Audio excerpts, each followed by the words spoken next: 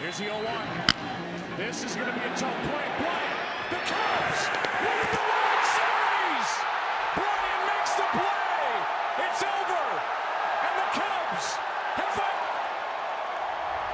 Foul ball goes right back toward the people seated behind home plate. Minutes as the woman was treated and then taken away on a stretcher. Look at the talent in the stands today. Oh. On the replay, we see what horrified the crowd. A man, attending the game with his young son next to him, falls some 20 feet to the ground. Ranger center fielder Josh Hamilton had tossed the ball into the stands, and the fan, a local firefighter, appears to catch it before tumbling over the rail. Gets whipped into the stands.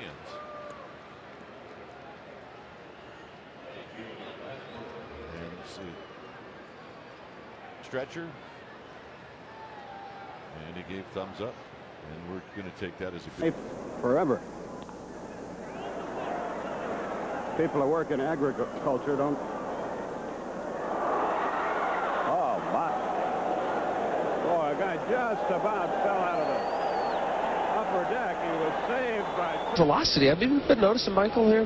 91-ish. Now, you would think that with the extra rest. You know, he's been living at 93 all year. Got hit in the face. You see that? No. Going for the catch. Oh, my. He did it to himself. Wow. Nachos. Right here. You may want to watch and pay attention. Come on. And somebody just fell out of the upper deck and landed on the screen right in front of us. He looks like he's okay. He's sitting up. That is a scary moment. Oh, man. Is it ever? And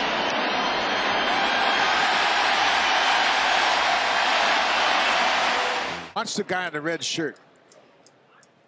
He ducked out of the way. And you can see Donaldson's reaction. He's concerned about the safety of all those fans right behind Your screen here, a, a guy dangling off a railing. He'd been standing at a table. dur- At the end, he takes a drink right out of it. He couldn't get the ball out, so